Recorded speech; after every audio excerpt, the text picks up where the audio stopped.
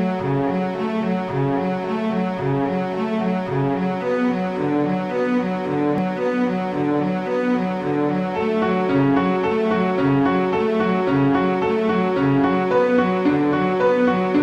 everybody, welcome back to another episode of Card Talk, a podcast where we spend a little bit of time talking about cards from Lord of the Rings the card game. I'm your host, Dave Walsh. And I'm Grant Thompson, just along for the ride. And today we're talking about Pippin from the Black Riders box set. Eh? Um, he is a six cost, two willpower, one attack, one defense, I like Pippin. poet who has the text. Each enemy in play gets plus one engagement cost for each Hobbit hero you control. Response: After you engage an enemy with an engagement cost higher than your threat, draw a card. I like Pippin. So how do you feel about Hobbit? Stat wise, um, not ability wise, because ability wise he's phenomenal.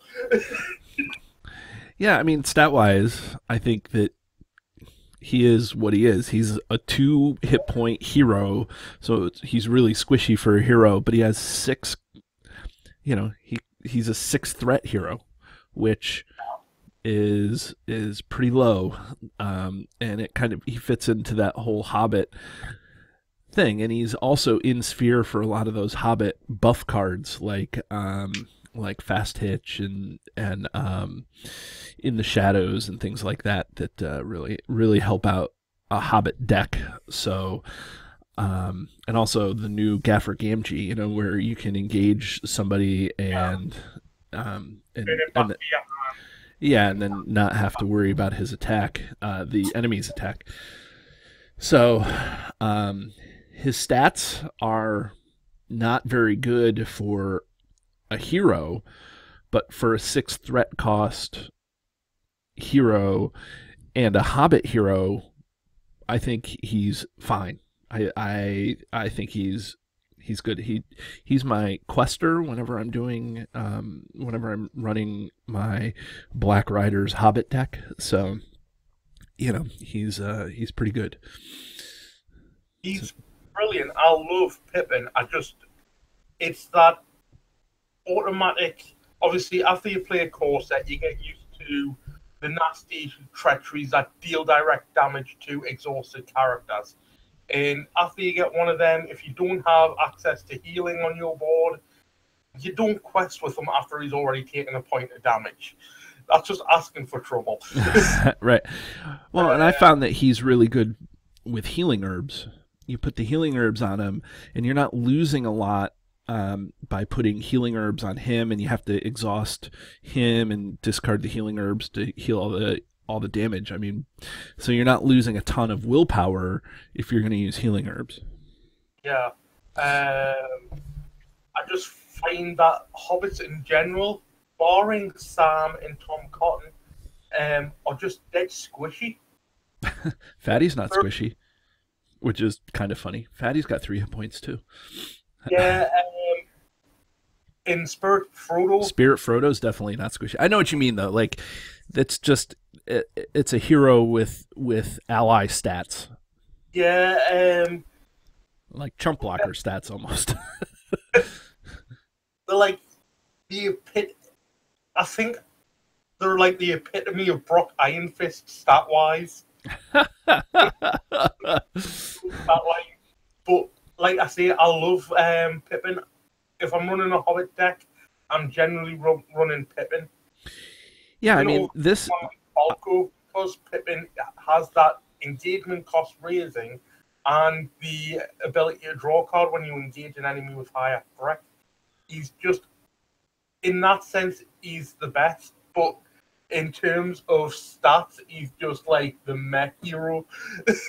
Yeah, I mean, I think in terms of ability, he's he is top tier. Um, and that first that first line about enemies getting a plus one engagement cost, there are there's more times when I am playing this guy that I, I need that more than I think. Like you think, oh, I'll just engage a guy. Even playing solo, you know, you engage a guy, or you know, like waiting a turn may be the best thing, and you, can't because you have to.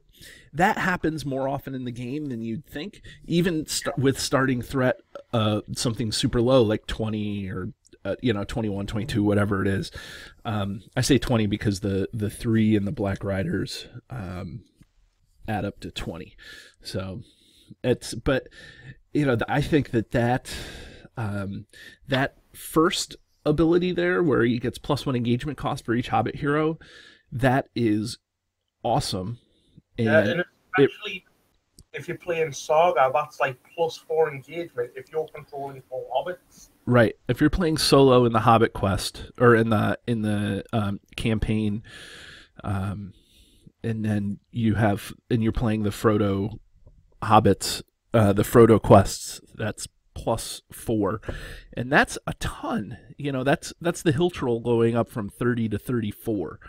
Um, not that the hill troll is in the campaigns, but that's uh, you know that's the type of thing. You know, like everybody says that thirty is really the threshold, but to get that those couple extra rounds there, provided no other shenanigans happen, like that is really what seals the deal.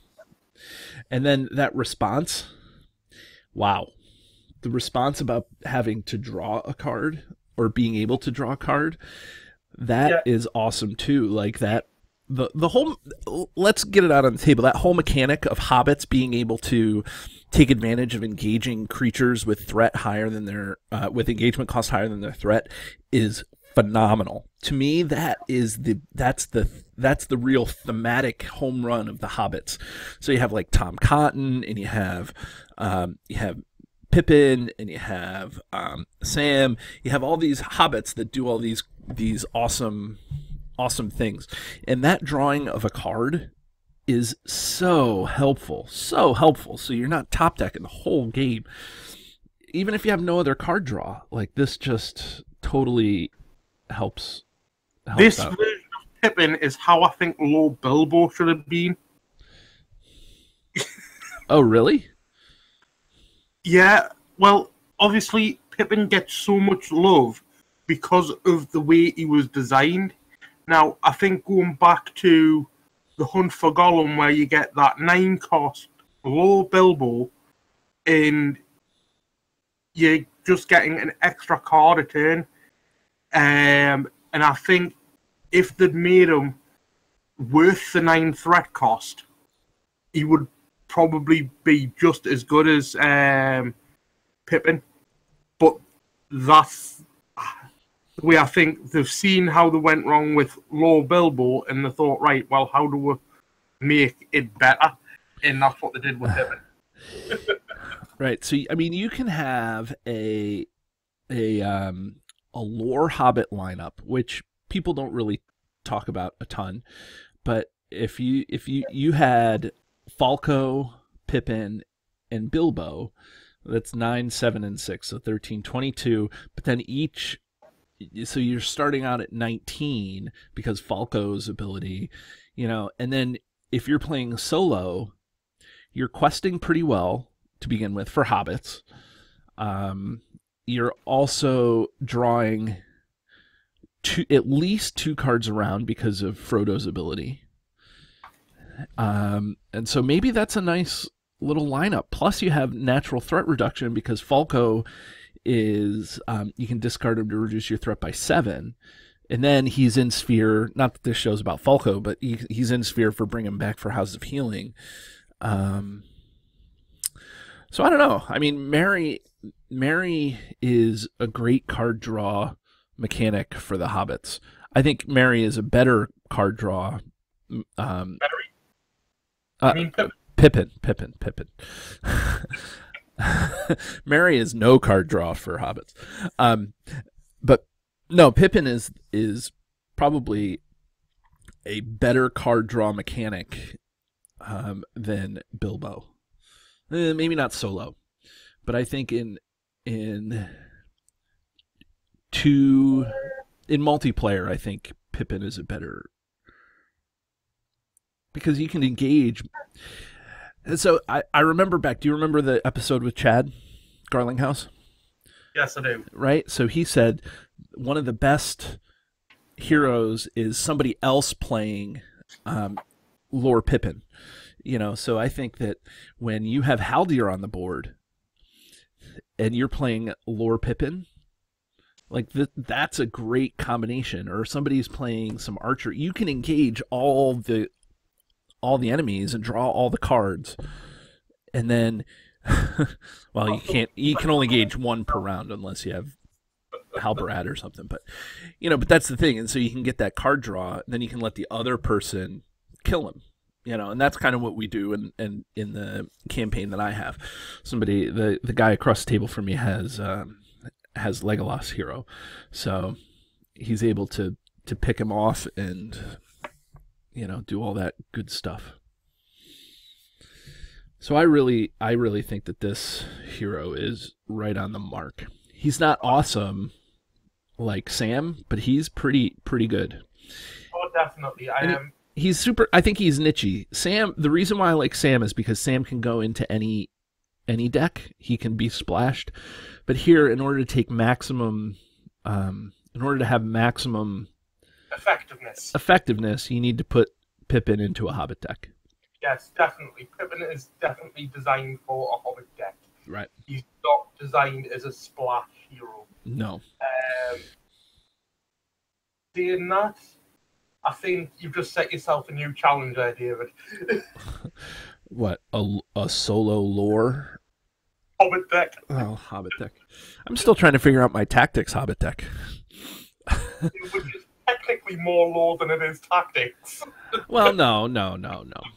I'm at my first iteration. One of the things I'm going to do is I'm going to I'm going to I'm going to record the the redo of the of the tactics deck.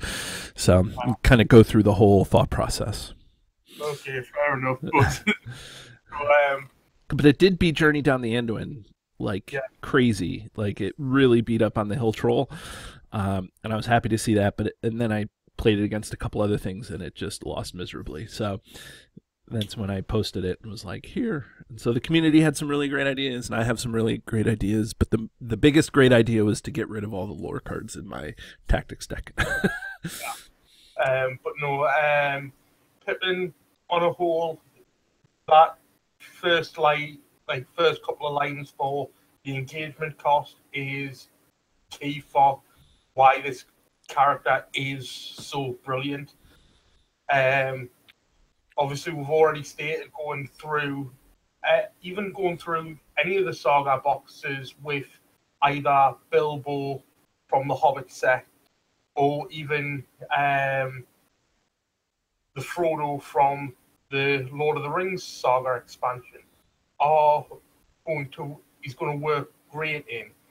Um, but obviously, you need to keep in mind that you need to build around um, hobbits for them to take absolute effectiveness. So yeah, and then you have you have cards that go with them, like in the shadow.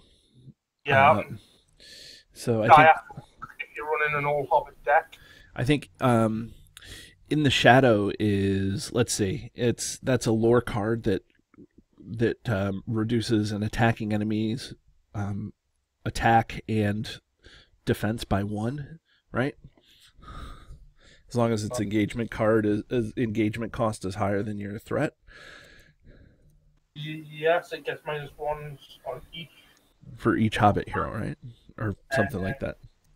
Roll the cost to play in the shadows by one for each hobbit or ranger character hero you control. Um, it's a combat action. Each enemy engaged with you with an engagement cost higher than your threat gets minus one attack and minus one defense until the end of the phase. Right. So I mean that's in sphere and you know, you take a, a fairly bad enemy and you can you can kind of neuter it with with this, you know, as long as it's not unique enemy, you know. Um or not unique, um immune enemy. Um for free as long as you're playing a Hobbit deck, which if you're playing Pippin you are. I think that this is this is a card that is that goes into that deck pretty um pretty nice, pretty nicely. Uh, yeah, take no notice is actually quite nice as well. yeah, take no notice. Um, I find that card kind of is a panic button more than anything when I've played my Hobbit decks, because that in- doesn't that increase the the cost, the engagement cost of? Yeah, it increases the engagement cost um, of each enemy by five. End of the round. Right, and it's also another one that's free within lore. Um, with um, Hobbit or rangers. It reduces its cost. Right, right, right, right. And so, I mean, this I find with um, uh, with with lore Pippin, kind of almost doesn't. Need, it's kind of like you're doubling up, um, and so I I have a tendency to to cut take no notice from my Hobbit decks.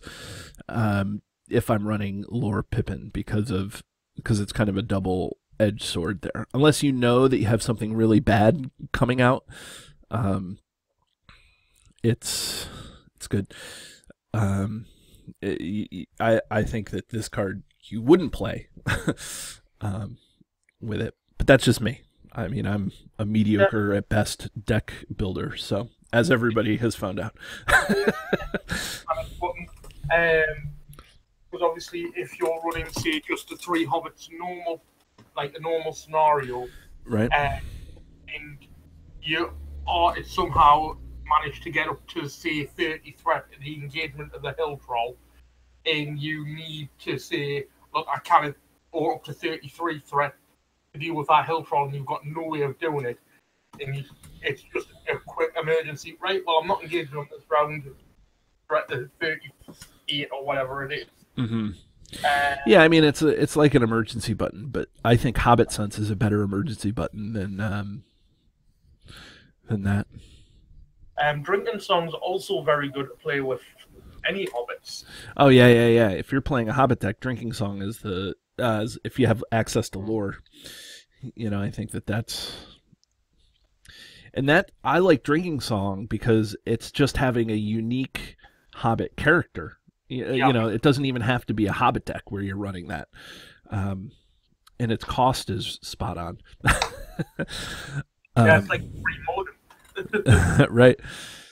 So, um, you know, so I mean, uh, in terms of like killer combos, I think that Merry, not Merry, Pippin is, um, or at least lore Pippin, really should be run in a Hobbit deck.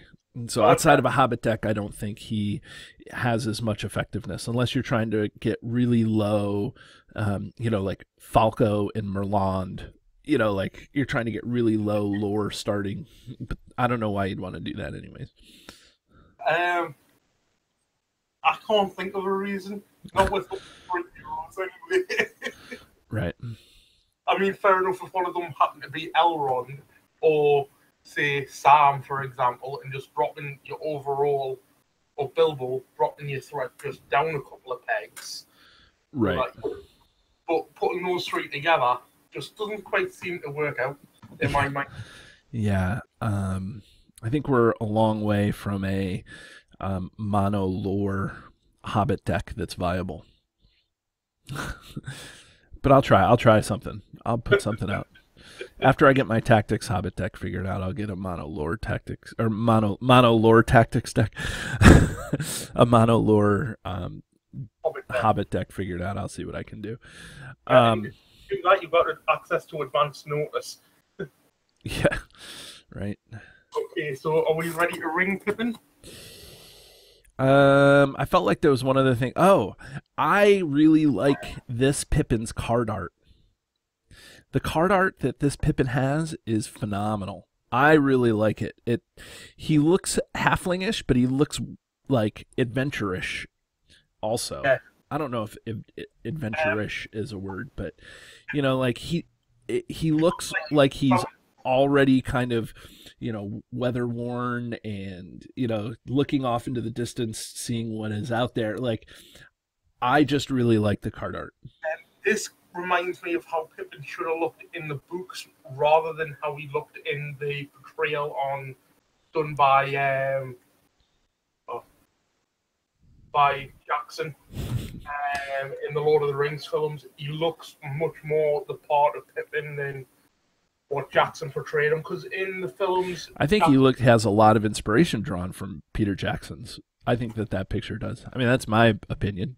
Um, but in Peter Jackson's films, not that they're not brilliant, I love them, but um, the show Pippin in Merry is pretty much foolish and idiotic. Where Pippin had a lot of knowledge of the land where he came from, which is shown in the books, which wasn't actually shown in the film so much, and the kind of left part of his character aside and just focused on the comic relief element of Pippin.